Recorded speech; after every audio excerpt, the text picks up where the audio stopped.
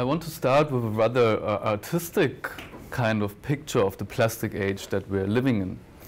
So that's like uh, the most expensive photograph that's ever been sold um, for 3.3 million dollars. That's Andreas Gursky's 99 cent um, uh, uh, piece. And I believe it's a very, very good image of the plastic age or the situation that we're living in. So you see a supermarket with an abundance of those synthetic, colorful, bright, cheap materials. They have brought a lot of benefits to society. It's very appealing. We want to buy it. Um, but then also you see like in between, in the aisles, in between the shelves, you see like people are there, but they're somehow lost and they're a bit confused in this abundance of synthetic materials, of plastics. And I believe that's quite, quite a good characterization of the situation we are in. So we're we, we are having the benefits of all those materials, but somehow we're also a bit lost in this kind of synthetic world. And then I just want to take you back just to, to, to, to ask, so how did we end up in this plastic age that we're seeing today? And I just want to, uh, to remind you of the 1950s. So that's like the cover page of Life magazine in the 50s. And what you're seeing is an extremely happy American family and they're celebrating the throwaway life. So just picture this kind of enthusiasm, this kind of excitement about those synthetic uh, materials, those plastic materials back in the days, right? So they really improved uh, living conditions. For example, the article says you cannot read it, but by using all these throwaway plastic items, uh, the average housewife is saving like 40 hours of cleaning time. So they really like empowered, especially women back in the day, just by liberating them from all this housework. Um, just think about like when, when, when, when plastic diapers were invented and they didn't need to go through um, uh, uh, washing all the diapers, etc. So just to give you a background, there was like really this excitement over those fantastic new materials, and they could be just basically applied to everything. So where are we now? now we're seeing those pictures, right? And, and, and the public sphere's attitudes towards plastic have completely changed, at least in the last years. Uh, and that has been driven by, by pictures like that. So you see like a dead Laysan and albatross that was collected um, at Midway Atoll in, in the Pacific. You see uh, a belly full of plastic. So the parents of those uh, albatross chick feed plastic um, to their offspring and those are, of course, very emotional, very arousing, very iconic images that have basically driven public attitudes toward plastic materials. Just want to give you another very recent example. So that's a sperm whale that just stranded two weeks ago in Sardinia.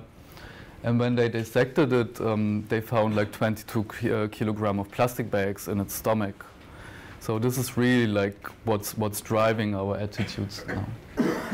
I'm going to talk about microplastics, so the smaller pieces of plastic litter that we find in environments, and that's a picture I've taken in Trondheim, a very pristine beach. You can find plastic items there as well, uh, and I want to investigate or look at with you at the impacts on the environment, but then also impacts on academia and societies. Why am I talking about microplastics specifically, really? Because there's such a contagious uh, issue in academia. So everybody is obsessed with microplastics these days. And for that, I've just plotted the plastic production that, that humankind is like uh, producing on a global scale. So you see that nice exponential trend. So we're approaching 400 million tons plastic produced each year. And with a quite a delay of some decades, you see that explosion and exponential growths in papers on microplastics. And I'm not going to say that microplastics are the new pollutant in the academic literature. I'm just saying that we are really quick uh, in, in, in, in, generating knowledge on this kind of um, contaminant of emerging concern. I will have three key messages today. So first, I will try to show that based on fragmentary and limited scientific evidence we have, microplastics um, may pose risk to aquatic environments. In the second part, I will talk a bit about or look a bit at the discourse that we're having over the impacts of plastic pollution within academia. So there is not like a very clear opinion, so there's discourse over there, but then also in the public sphere. And I will make the argument that, that um, different conceptions of, of what risk actually is lead to this kind of public perception of, of plastics and microplastics. And in the third and final part, I will, make the case that societies have decided um, and they find plastic pollution unacceptable. And that's something we just need to deal with as researchers. Even though knowledge is not like full and, and, and it's never complete, that's, that's kind of a, a, a reality we need to adapt to.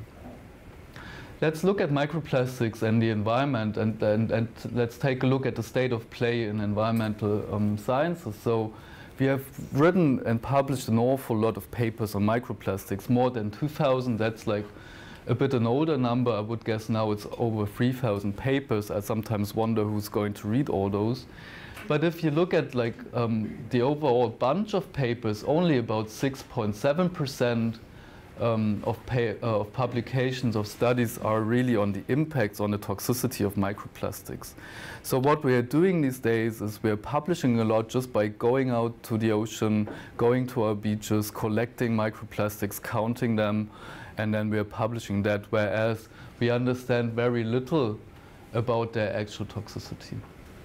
If we look at this, this small chunk over here, then like um, uh, environmental toxicology is basically in 70% of the studies using polystyrene, which is one particular polymer, we, we have like a lot of different polymers, but we're really obsessed with studying polystyrene uh, for very pragmatic reasons because we can buy it and it's uh, sinking in water, so the density is quite appropriate. So, so most of the knowledge is on, on one, one polymer. and then we're also a bit obsessed with very small microplastics again, the majority of toxicity studies is like analyzing the, the effects of, of uh, microplastics that are smaller than 100 micrometer. So that's just to settle the stage, really. Um, and you see that there's kind of biases in the way that we do this kind of toxicity studies towards certain polymers and towards certain sizes. Sorry, and we're also using those nice spherical beads which are not, which we know are not really representative for all the microplastics we find in the environment. They're degraded, they're fragmented, they're irregular, they're fibers. We hardly find those perfect uh, little microbeads out there, uh, which are blamed for a lot of stuff, uh, especially the microbeads coming from cosmetics. So that's why, why in our group we're using um, those irregular kind of plastic particles made not only from polystyrene but also from other materials. And what we find very important is to compare the impact that those guys are having with the impact of natural particles. So we're using diatomite, which is like a clay-like particle you find in aquatic systems, just to compare because we're not so much interested to show, to show that microplastics are super toxic. We rather are interested in the question, are they more toxic than all the other materials, particles that out, are out there in aquatic systems. And we're looking at freshwater species, so most of the data that we have is focused on the marine system, but we are looking at freshwater species, so water fleas, gammarids, um, insect larvae, and a lot of mollusks, so zebra mussels and snails and so on. And what we are also doing is um, I mean, those guys, they won't only observe microplastics when they're in the, in the, environment, they also have like additional stressors. So in the laboratory, we're also stressing them, for example, by taking away their food or limiting their food. We're exposing them, uh, for example, to metals or neonicotinoids, pesticides. Um, and then we, we want to see how this additional stress is really modulating the toxicity that microplastics may have. So this is a very, very rough um, overview of kind of a lot of experiments we've been doing with this kind of different species and different polymers.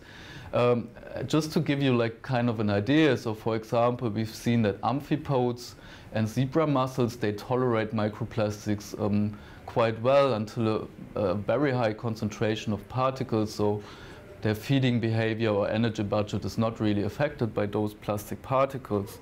But then if you escalate the dose, you see that uh, Daphnia magna, the, the, the great water flea, uh, is, is reacting and, and that different kinds of microplastics have a negative impact on their um, reproduction. So those seem to be sensitive for microplastics. And then if you escalate the concentration even more, you see that chironomids, which is aquatic uh, larvae of an insect, they also um, react uh, uh to, to PVC microplastics. So something's going on there, but remember at extremely high concentrations. So what happens if we compare that toxicity to natural particles is you see that the zebra mussel and, and the gammarids, they don't really re react to natural particles as well. However, for the water flea, we see that's like the toxicity that natural particles are inducing. And that happens at about one order of magnitude um, higher concentration than microplastics. So for those guys, microplastics appear to be a bit more toxic than natural particles. And the same is true for chironomids. So you see the natural particles don't affect them at all really, whereas the PVC microplastic does. What happens now if we add like extra stressors? So for example, for the zebra mussel, we just increase the temperature and you see that that had an overall effect like on the energy budget of that, of that zebra mussel, but not really in terms of uh, additional microplastic effects. When we limit the food supply to Daphnia, we see that the microplastic effect, the toxicity, is shifted by one order of magnitude approximately. So the additional stress of just lacking food is increasing the toxicity of microplastics. And that's something that animals normally encounter in environment. There is never abundant food um, in supply. And we see that if we add a neonicotinoid to, uh, to the microplastics in, in our insect model, that this neonicotinoid is really increasing the toxicity um, of those microplastics. In itself, it didn't have any effect. So what you're seeing is that when you move towards more realistic scenarios, really, using other types of particles, comparing to natural particles, uh, using additional stresses which would occur in the environment as well, that all modulates the toxicity of microplastics.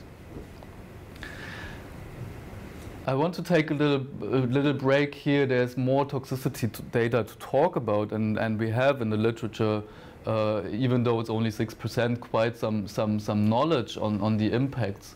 So um, it would be time just to take a break, keep calm, and just do a risk assessment. And that's something that we normally do in environmental toxicology for chemicals, right? So we're comparing the exposure to a certain chemical, say a pesticide, with its hazard and then just determine based on that the risk. So this is very, one very recent uh, paper on the risk of microplastics in aquatic systems and here you see a cumulative distribution on the levels of microplastics in the environment. Um, so those are the most heavily polluted places, those are the most pristine places, and you can compare this kind of exposure levels in the environment to the hazard, to the toxicity that those particles have in, uh, based on laboratory studies. And you see that here, for example, Danio rerio, which is the zebrafish, is reacting most sensitive to microplastics. So if you just compare those two um, distributions, exposure and hazard, you see like there's six orders of magnitude space in between, so we would need to escalate environmental levels um, of microplastics by 100,000 fold at least, or 1 million fold, to really see um, kind of uh, a risk negative impacts on the ecosystem. So that was published in 2018, and then uh, uh, a couple of months later, there was another very similar study, but they have performed a probabilistic risk assessment, taking into account more data. Not to go into detail, again, here they plot the levels of microplastics which we know of in the environment for different continents. So we see like Europe is over here, so we have quite low, um, quite low levels, and then if we compare that to reports from Asia, they have uh, a bit higher levels over there. If we could summarize that, in the most heavily polluted places, we see about uh, 10 to 800 microplastic particles per liter in rivers or lakes. And we can compare that then to the toxicity, and that's again like a hazard distribution so you see now there's different species popping up as the most sensitive one. That's a mussel, uh, that's water fleas.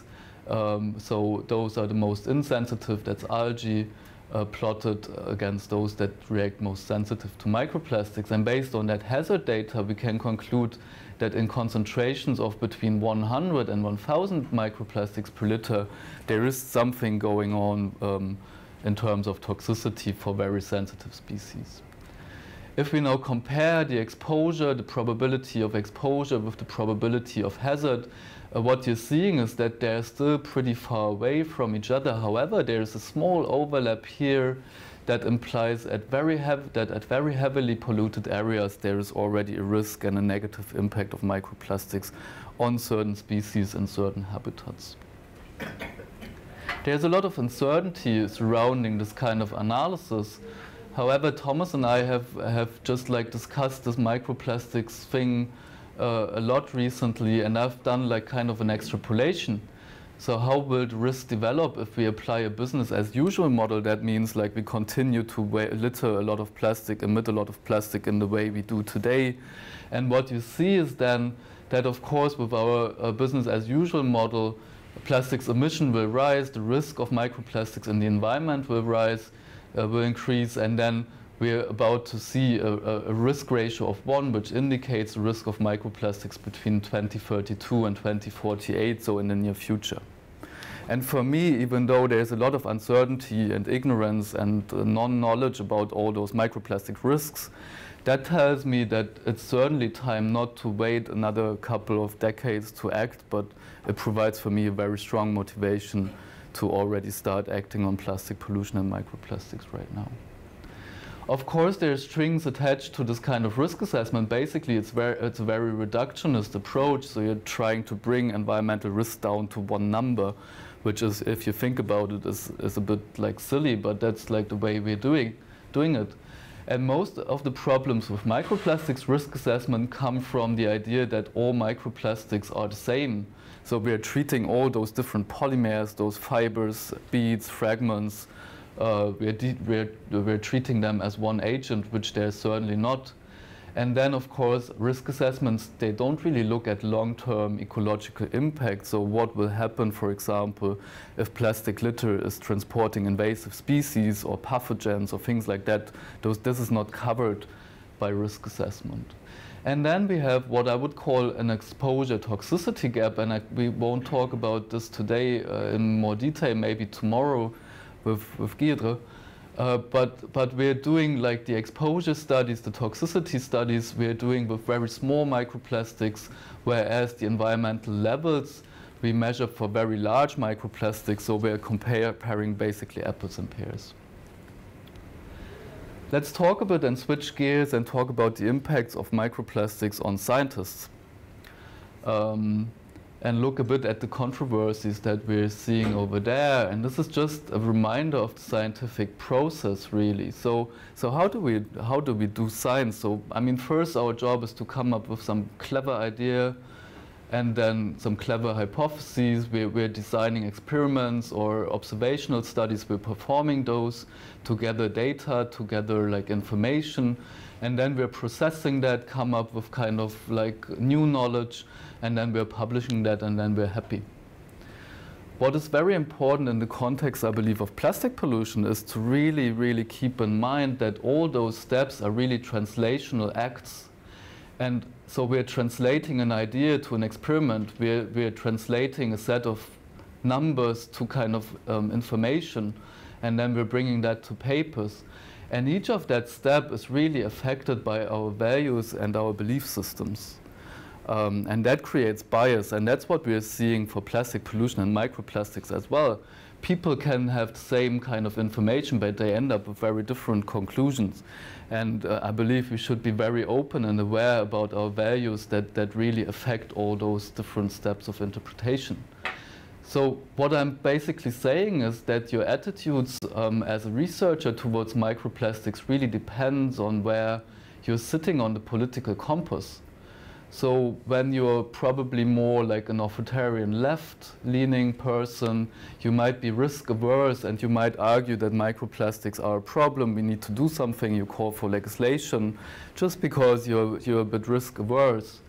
If you're leaning more to the libertarian right side of things, you might be more risk neutral. So you would say, who cares about microplastics? Show me very solid data. Before I see fish dying, there's no need to act. And you would want to avoid overprotection. And I believe that does not only affect our like interpretation of microplastics and plastics um, uh, data, but also, for example, data on, on pesticides and chemicals and things like that. And we're not very open about this. And I believe we should, should be more open about our values, how they really affect the way that we're doing our science. But there's also extrinsic factors, and I would make the argument that microplastics have been like a great accelerator of, of, of uh, productivity. So in the early days, you just put like microplastics in the title of your manuscript, and like the editors would go crazy and would accept it. That's of course exaggerated, but they were so keen on all this like new microplastic stuff that that just that was like a great like yeah, like a facilitator. And that, of course, resulted in a lot of papers, that resulted in a lot of uh, press coverage. And that, of course, has like a creates a feedback mechanism to the researcher and then really like affecting you because you want to have more. You want to have more attention, you want to have more papers, things like that. And we need to keep in mind that um, science is operating now uh, in an area of hyper competition. So we are competing for careers, we are competing for PhD positions, we are competing for papers, for grants. And there's a very excellent paper that has summarized the perverse incentive that this hyper competition is really inducing. So for example, the incentive originally was to reward researchers to increase the numbers of publications to improve productivity. However, what the actual effect of that was that we are seeing an avalanche of substandard incremental papers, that peer review is reduced. Another idea was to reward uh, researchers for increased funding to ensure that they have sufficient resources to do their stuff, right? But that has resulted really in overselling positive results, downplaying negative results. And I would make the argument that we're seeing a lot of those impacts, those perverse incentives in, in, in, in microplastics research, but it's not restricted to that. So we were wondering a bit whether like those perverse incentives are really inducing making researchers like exaggerate their findings. So we've been looking at about 500 papers from the peer-reviewed literature and we've been analyzing how the researchers frame the risk of microplastics. And to our positive surprise, we found that about like two-thirds of the papers really stated that microplastics may pose a risk or it is assumed that they might, might be a risk. So they, they really stayed on like the balance side and said like it is a hypo hypothesis that that's like that microplastics pose a risk. We also found, uh, however, like 25% of papers that said like microplastics clearly represent a threat or they pose a risk. So there's other researchers that already have made up their minds and they say like it's just a risk. So the interesting thing is now how does that risk framing in scientific papers really translate to risk framing in news in the public spheres and then we've been looking at newspaper articles from the New York Times, uh, but also tabloids and other like outlets. And we've been looking how the news is really receiving and transporting, translating this kind of risk framing coming from science. We found quite the opposite picture here. So only about 6% of newspaper reports really state facts. So they don't make any claims that microplastics pose a threat to us. Uh, 36% talk about the negative impacts on the environment. Surprisingly, 43% talk about microplastics being a danger to the food chain. So, for example, they lead to a spread of pollutants in the food chain, including uh, to humans. And 15% of newspaper reports even talk about negative effects on our human health. So you see there's a complete detachment between what we see in the scientific literature and what is reported really in the news. And we were wondering how this translation, why, why is this translation of risk really happening? And of course, I talked about perverse incentives. So of course, neoliberalism, the hyper-competition is driving this kind of hyperbolic communication uh, in form of press releases. But what we believe is really that there is a translational problem uh, in how we frame risk. So as when we say as, as, as researchers microplastics may be a risk, this is perceived by the public that microplastics are a risk. And this is why they have different conceptions of risk. So for us, risk is the probability of a negative outcome, whereas for the public, the uncertainty of a negative outcome becomes risk. So we don't know that microplastics is a problem. That becomes the risk already, not knowing, the uncertainty. And I believe like we're not really as scientists communicating this stuff, we're not really aware that a may is becoming an R. And we should, should think about that more, especially when we talk about those like uh, public issues. Finally, what does society or do societies like make out of plastics really?